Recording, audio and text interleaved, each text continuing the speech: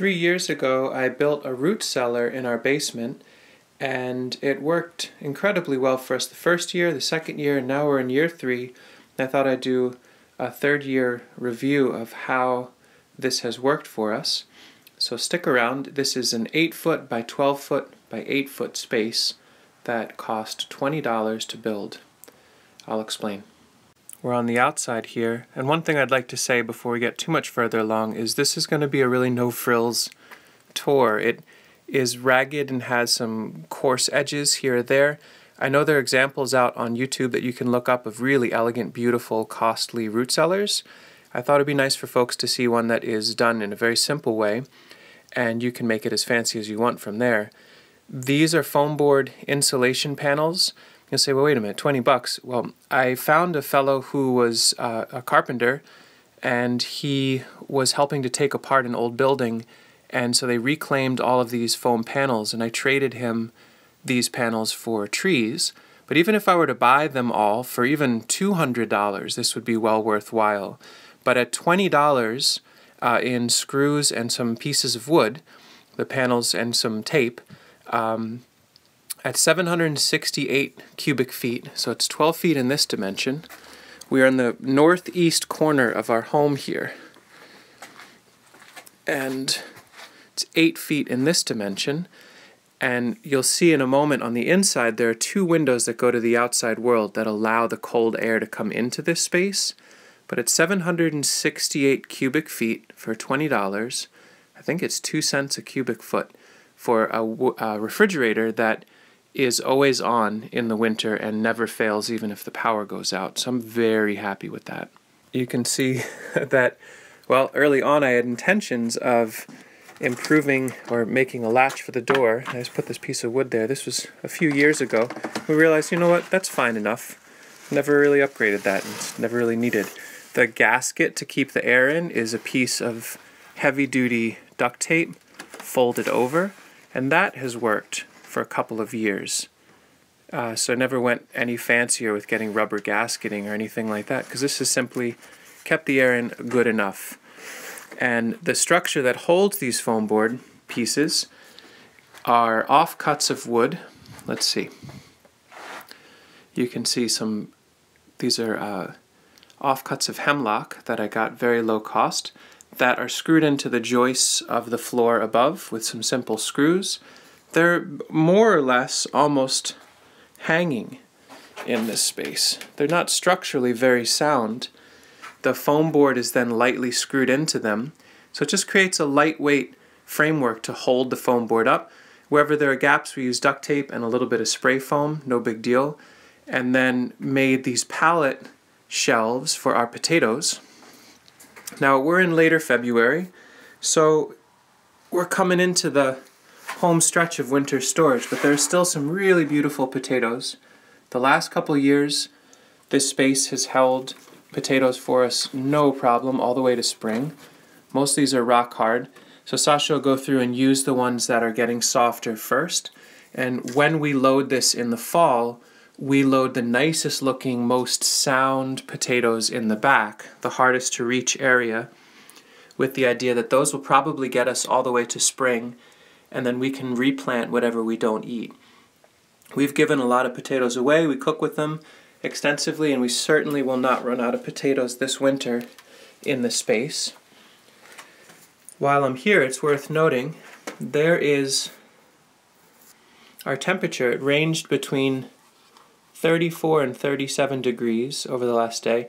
It was 10 degrees last night outside and the way I regulate the temperature, it's held between 34 and 37, maybe 39 this whole winter, which is perfect temperature for us. A little low on humidity, but we can keep the humidity high around certain crops, and I'll explain that in a moment. The way that this gets its cold air is simply one tube here. Now in this case, this was a leftover piece of four inch drainage tube nothing fancy there.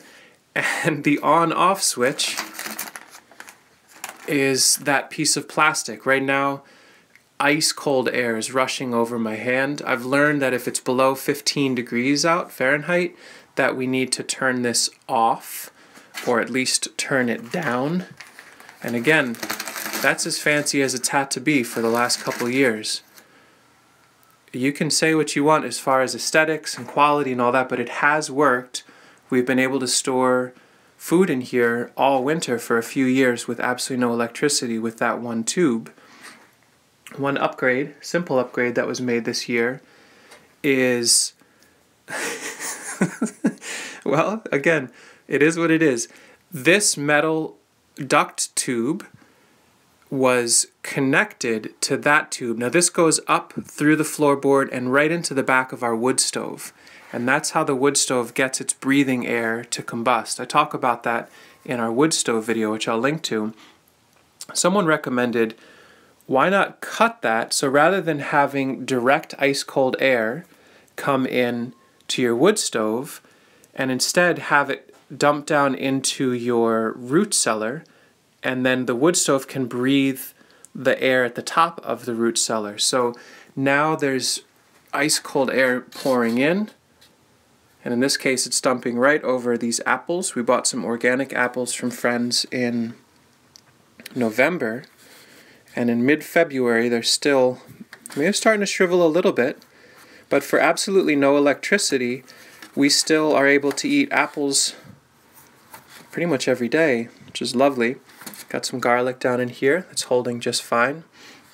And so we have two ports where ice cold air from the outside is sliding in 24-7 and one port at the top that's sucking the, the stale air out of the space.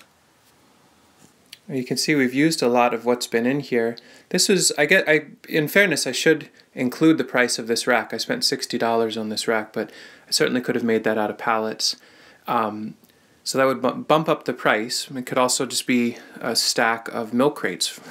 but we like having this rack. It's underutilized right now, but there's a whole lot of storage. Now this is like long-term refrigeration storage for material that Sasha's made. So there's rendered lard, there's incredibly strong hot sauce, there's homemade misos, there's vinegar preserved garlics, there's really nice lacto ferment hot sauces and preserved sweet peppers and olive oil, um, some pestos, and there's room for twice, if not three times that on these racks.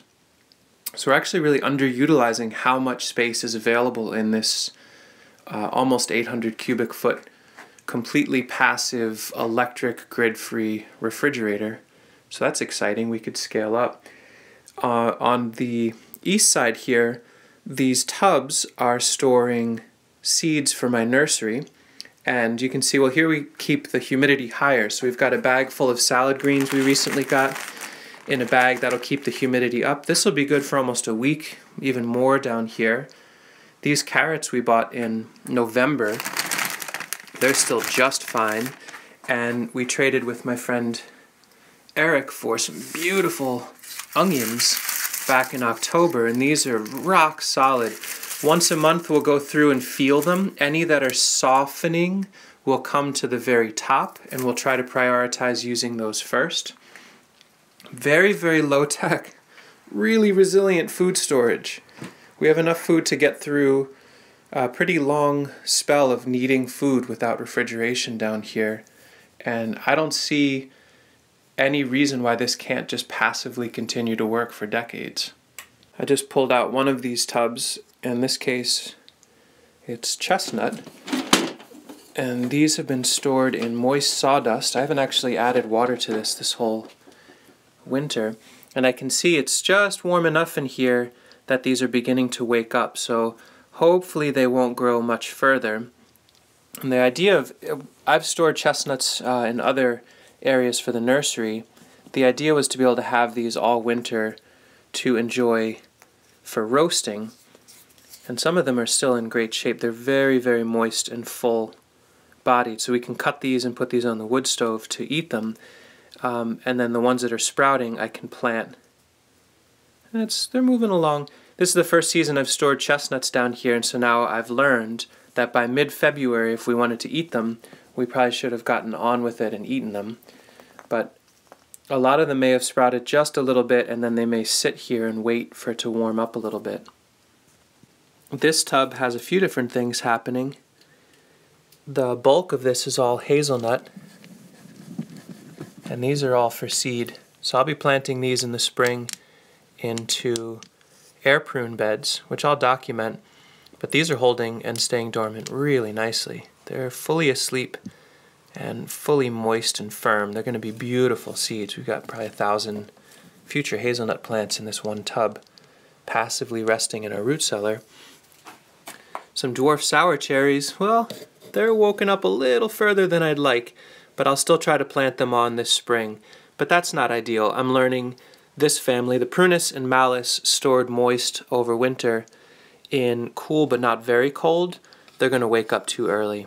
So these are some prune plums that are certainly moving on. But that's for another video. Learning as I go. Some are sprouting early, but we'll still plant them and just have to be a little bit more careful. But right now, down here, I would venture a guess amongst all of these tubs are five to ten thousand trees waiting to grow. So that's a very exciting situation. You can see all these are seedling pawpaws, and we've got a Myoga ginger that's marginally hardy in our area that's being stored over winter, and a little mouse trap because this is a valuable tub. Just in case. Mice once in a while will come in here, but with our cat Stanley, uh, once a week or so we'll open the door for an hour and let him come in and frolic, and he takes care of whatever mice are in here. So that gives an idea of what's happening this winter in our passive root cellar. My hope with this video is that, uh, just like with a lot of the videos, that you see an example of a low, very low cost, not necessarily exquisitely executed, but effective and appropriate technology driven solution for decoupling a need for electricity and fossil fuels in order to store food, grow food, all the nice things for you and your family.